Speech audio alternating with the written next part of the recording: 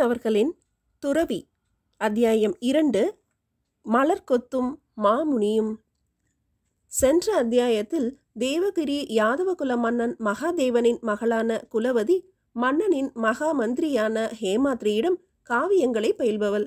ராமாயண காலத்தில் புகழ்பெற்ற பஞ்சவடிக்கு சென்று பார்த்தே ஆக வேண்டும் என்று தந்தையிடம் பிடிவாதம் பிடித்து மந்திரி ஹேமாத்ரியின் துணையோடு புறப்படுகிறாள் குலவதி.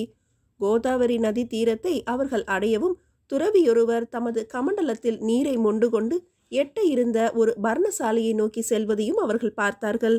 இனி இரண்டாவது அத்தியாயம். மலர் கொத்தும் மாமுனியும்.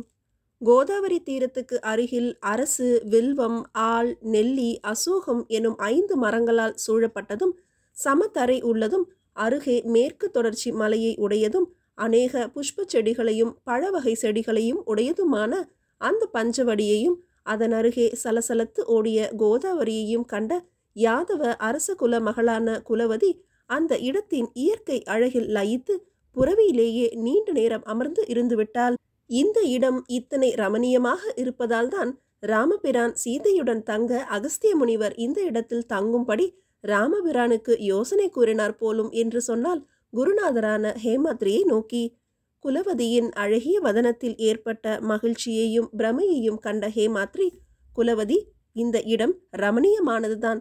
இங்குள்ள புண்ணிய நதியான கோதாவரியும் அதன் கரையில் உள்ள புஷ்ப விருட்சங்களும் கனிகள் தரும் தருக்களும் சற்று தூரத்தே இருந்தும் அருகே இருப்பது போல பிரமையூட்டும் அத்தகிரி என்றும் சஹ்யாத்ரி என்றும் அழைக்கப்படும் இந்த மேற்கு மலைத்தொடரும் அழகின் சின்னங்கள் என்பதில் சந்தேகமில்லை.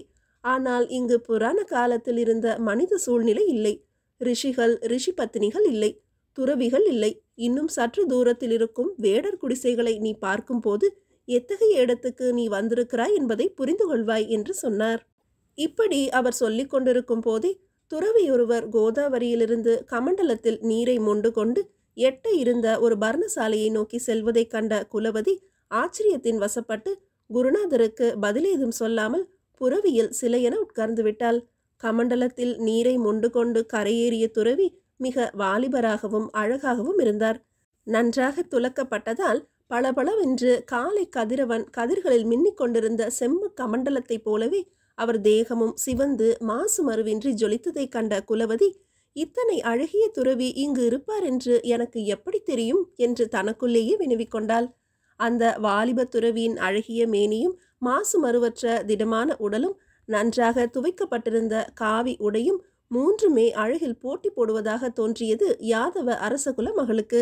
இத்தனைக்கும் அந்த வாலிப துறவி மற்ற துறவிகளைப் போல் தலையில் ஜடாமுடி ஏற்காமல் குழல்களை காகபக்ஷங்கள் போல சத்திரியர்கள் போலவே வெட்டி விட்டிருந்ததையும் அந்த குழல்கள் மிக கருமையாக இருந்ததால் அவரது அழகிய மேனிக்கு அழகு செய்வதாகவே அமைந்திருந்ததையும் குலவதி கண்டாள். அந்த துறவி முப்புரி நூலை உடலுக்கு குறுக்கே அணிந்திருந்தாலும் அதன் முக்கால் பகுதி அவர் அணிந்திருந்த காவி வஸ்திரத்துக்குள் மறைந்துவிட்டதையும் பார்த்த குலவதி இவருக்கு துறவி வேடம் அழகாக இருக்கிறது ஆனால் பொருந்தவில்லை என்று தனக்குள் சொல்லிக்கொண்டாள் அந்த துறவி கோதாவரியின் கரையேறி நடக்கத் துவங்கிய போது அவருடைய கால்களுடைய வன்மையையும் அவை ஒரே சீராக பாவி செல்வதையும் கண்ட குலவதி இது ஏதோ வீரர்கள் நடையாக இருக்கிறதே தவிர துறவியின் நடையாக இல்லை என்றும் சொல்லிக்கொண்டாள் இத்தனை தூரம் குலவதி சிந்தித்தாலே ஒழிய அந்த துறவி அவளையோ குருநாதரையோ அவர்கள் கூட வந்த பனிமக்களையோ கண்ணெடுத்தும் பார்க்காமல் கமண்டலத்தில் ஜலத்தை மொண்டதும் எட்ட இருந்த தமது பர்ணசாலையை நோக்கி நடந்துவிட்டார் அவர் சென்று பர்ணசாலையில் நுழைந்ததும் அவர் கண்ணுக்கு மறைந்து விட்டதால் அந்த பர்ணசாலையை கவனித்தால் குலவதி. அந்த பர்ணசாலை ஆள் வலை கிளைகளால் கட்டப்பட்டதின்றி அதன் மீது முல்லை கொடியும் மல்லிகை கொடியும் தொத்தி ஏறி கொத்து கொத்தாக மலர்களை புஷ்பித்திருந்ததையும் பார்த்த குலவதி சந்நியாசிக்கு புஷ்பங்கள் எதற்கு? இவர் நிஜ சந்நியாசிதானா? என்று சந்தேகித்தாள். இப்படி அவள் துறவியை பற்றி ஆராய்ந்திருந்த நிலையிலிருந்து அவளை மீட்க முயன்ற ஹேமாத்ரி அரசகுமாரி இங்கு இந்த துறவியை பார்க்க நாம் வரவில்லை என்று ஏளனம் ஒலித்த குரலில் தமது கருத்தை வெளியிட்டார். அரசகுமாரி குருநாதர் மீது நாணம் கலந்த பார்வையொன்றை வீசி குருநாதரே இந்த புண்ணிய தலத்தை பற்றி நீங்கள் போட்ட கணக்கும் சரியில்லையே என்றாள். இங்கு வேடர்கள்தான் இருப்பார்கள் என்று தான் சொன்னதை அரசகுமாரி சுட்டிக்காட்டுகிறாள் என்றும் இங்கு துறவிகள் யாரும் கிடையாது என்று தாம் சொன்னது பற்றி ஏளனம் செய்கிறார் என்பதையும் புரிந்து கொண்டு குலவதி காஷாயம் கட்டியவர்கள் எல்லாம் துறவிகளாகிவிட மாட்டார்கள். இப்பொழுது நீ பார்த்தவர் அர்ஜுன சந்நியாசியாக கூட இருக்கலாம். உன்னை இந்த மகானுபாவரிடமிருந்து காக்கும் பொறுப்பு எனக்கு இருக்கிறது. அதை அறிந்து நட என்று கூறி லேசாக நகைத்தார். பிறகு அங்கிருந்த ஐந்து தருக்களுக்கு நடுவில் இரண்டு பர்ணசாலைகள் அமைக்க தம்முடன் வந்த பணியாட்களுக்கு கட்டளையிட்டுவிட்டு புறவியிலிருந்து மகாமந்திரி இறங்கவே பணிமக்களும் அரசகுமாரியின் தோழிகளும் கூட இறங்கினார்கள். இறங்கிய பணிமக்கள் அந்த ஐந்து மரங்களுக்கு இடையே பர்ணசாலையை கட்டத் துவங்கினார்கள். யாதவர் தலைநகரிலிருந்து புறப்படும் போதே கொண்டு வந்திருந்த நீண்ட மரக்கால்களை நட்டும் அடுத்திருந்த தோப்பிலிருந்து வெட்டி கொணர்ந்த தழைகளுடன் கூடிய மரக்கிளைகளை சேர்த்து கட்டியும் நடுப்பகலுக்குள் இரண்டு இலை வீடுகளை பணியாட்கள் அமைக்கவே ஒன்றில் அரசகுமாரியும் தோழிகளும் தங்கினார்கள். ஹேமாத்ரி தனக்கு மட்டும் ஒரு இலை வீட்டை இருத்தி கொண்டு காவலர்களை ஆங்காங்கு மரத்தடிகளிலும் தோப்புகளிலும் தங்க வைத்தார். அரசகுமாரியின் பர்ணசாலை மீது ஒரு கண்ணை வைத்திருக்கும்படியும் வீரர்களுக்கு உத்தரவிட்ட பிறகு கோதாவரியில் நீராடச் சென்றார். அதன் குளிர் நீரில் அமிழ்ந்து நீராடி முடித்த ஹேமாத்ரி தமது நடுப்பகல் கடனை முடித்து பர்ணசாலைக்கு திரும்பினார். தாம் நீராடிய இடத்திலிருந்து சற்று எட்ட அரசகுமாரியும் பணிப்பெண்களும் நீராடியதைக் கண்டும் காணாதது போல போய்விட்டார் ஹேமாத்ரி. கோதாவரியில் அமிழ்ந்து நீராடி கொண்டிருந்த குலவதி தனது தோழிகள் போன பிறகும் நதி பிரவாகத்திலிருந்து எழுந்திருக்க மனமில்லாமல் அதன் சலசலத்த நீரிலே துளைந்து கொண்டிருந்தாள். தனது சீலையின் மேல் பகுதியை கழுத்தை தாழ்த்தி பிடித்துக்கொண்டு மார்பு கச்சையையும் அவிழ்த்து அதை நீரில் அலசி கரை மீது போட்டாள். அவள் அழகிய வழவழத்த உடலை அன்னை கோதாவரி தழுவி தழுவி ஓடி நீராட்டிவிட்டாள் இப்படி நீண்ட நேரம் நீராடிய குலவதிக்கு தோழிகளில் ஒருத்தி வேறு ஆடைகளை கொண்டு பிரிக்கவே அதன் மறைவில் எழுந்த அரசகுமாரி அதை சுற்றி கொண்டு தனது சேலையை நெகிழவிட்டாள் கரை மீது. அவள் குழலை வேறொரு சீலை துண்டினால் துவட்டி கட்டினால் பனிமகள் ஒருத்தி. பிறகு வேறொரு துண்டினால் உடலை துடைத்து சேலையையும் அணிந்த குலவதி தனது பர்ணசாலையை நோக்கி நடந்தாள். நனைந்த சேலை முதலியவற்றை பிழிந்து கொண்டு தோழியும் அரசகுமாரியை பின்தொடர்ந்து பர்ணசாலையை அடுத்த மரக்கிளைகளில் எசமானியின் சேலையை கட்டினாள் மாற்றுச் சேலை அணிந்து பர்ணசாலைக்கு வந்த குலவதி அதன் வாயிலில் நின்று தனது குழலை அவிழ்த்து பிரித்து உலர்த்தினாள். அதில் ஏற்கனவே தடவியிருந்த தைலத்தின் நறுமணம் காற்றில் மிதந்து சுற்றிலும் பரவி நறுமணத்தை அளித்தது. மெல்ல தலையை உலர்த்தி அதன் நடுவே சிறு பின்னல் போட்டுக்கொண்ட அரசகுமாரி அந்த வாலிப துறவியின் பர்ணசாலையை நோக்கினாள். அந்த பர்ணசாலையின் கதவு அடைக்கப்பட்டிருந்தது. அதன் மீது தவழ்ந்திருந்த முல்லை கொத்துக்கள் அவளை பார்த்து நகைத்தன. அந்த மலர் கொத்துக்களை பார்த்து ஏதோ சிந்தித்த குலவதி தனது பனிமகளொருத்தியை அழைத்து அதோ அந்த மலர் கொத்துக்களில் ஒன்றை கிள்ளிவா என்றாள். பிறர் கூரையில் இருப்பதை நாம் எப்படி பறிக்க முடியும் அம்மா என்று பனிமகள் ஆட்சேபித்தாள். துறவிக்கு மலர் எதற்கடி? போய் பறித்து வா என்றாள் அரசகுமாரி. பனிமகள் தயங்கவே அரசகுமாரியே துறவியின் பர்ணசாலையை நோக்கி நடந்து அதன் வாயிலில் சிறிது நேரம் நின்றாள். உள்ளிருந்து எந்த அரவமும் வராது போகவே மெல்ல தனது கால்களை ஊன்றி எழுந்து முல்லை மலர்கொத்து ஒன்றை கிள்ளி எடுத்து தனது கருங்குழலில் சூட்டிக்கொண்டாள். சிறிது நேரம் அங்கேயே நின்றுவிட்டு தனது இலைக்குடிலுக்கு வந்து சேர்ந்த அரசகுமாரி அன்று முழுவதும் அந்த துறவியை பற்றியே நினைத்து கொண்டிருந்தாள். மாலை வந்தும் கூட அவள் அந்த துறவியை மறக்கவில்லை. அந்த துறவியும் அன்று முழுவதும் அவள் கண்களில் படவில்லை. ஆனால் அன்று மாலை அரசகுமாரி மீண்டும் தனித்து கோதாவரியில் நீராட போனபோது நீராட்டத்துறையில் அந்த வாலிப துறவி நின்றிருந்தார். அவர் தமது கமண்டலத்தை கரையில் வைத்துவிட்டு அங்கிருந்த ஒரு சீலை துண்டை எடுத்து பார்த்தார். திரும்பி திரும்பி இரண்டு மூன்று முறை பார்த்த பிறகு அவர் சற்று எட்ட நின்று கொண்டிருந்த குலவதியையும் பார்த்து தமது கையின் சீலையையும் பார்த்து அதை கோதாவரி கரையில் இருந்த ஒரு பாறை மீது வைத்துவிட்டு நீராட வேறு இடத்துக்கு சென்றார். அரசகுமாரி அந்த பாறையை நோக்கி சென்று அந்த சீலையை எடுத்து பார்த்தாள். காலையில் நீராடி சென்றபோது தான் தவறி விட்டு போன மார்பு கச்சையே அந்த சீலை என்பதை உணர்ந்த அரசகுமாரியின் இதழ்களில் குறுநகை விரிந்தது. நீராட தொலைவில் இறங்கிவிட்ட துறவியை நோக்கினாள் குலவதி. துறவி அவளை ஏறெடுத்தும் பார்க்கவில்லை. நீராட்டத்தில் முனைந்திருந்தார். அவர் அலட்சியத்தை கண்ட குலவதி அன்று எப்படியும் அவரை சந்தித்து விடுவது என்று தீர்மானித்தாள். அந்த சந்திப்பும் எதிர்பாராத விதமாக ஏற்பட்டது.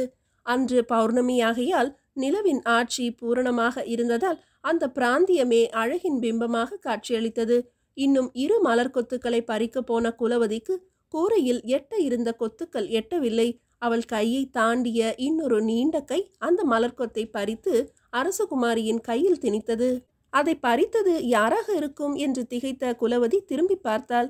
அவள் பின்னால் அந்த வாலிபத் துறவி நின்றிருந்தார். அவள் பார்த்ததும் வேகமாக பர்ணசாலைக்குள் சென்று கதவை மூடிக்கொண்டார். தன் பின்னால் நின்று தனது கைக்கு எட்டாத மலர்கொத்தை பறித்து தனது கையில் திணித்துவிட்டு தான் திரும்பி பார்த்ததும் வேகமாக பர்ணசாலைக்குள் புகுந்து கதவை மூடிவிட்ட துறவியை பற்றி நினைத்த வண்ணம் மூடியிருந்த கதவை பார்த்து கொண்டே நீண்ட நேரம் நின்றுவிட்டாள் குலவதி. தனக்கு பின்னால் அவர் எப்பொழுது வந்தார்? ஏன் அப்படி ஓசைப்படாமல் பூனை போல வந்தார்? வந்து எத்தனை நேரம் நின்றிருப்பார்? இப்படி பலவித கேள்விகளை தன்னுள் எழுப்பிக் கொண்ட குலவதி ஒருவேளை இந்த துறவி ருத்ராட்ச பூனையாக இருப்பாரோ? என்றும் கேட்டுக்கொண்டாள்.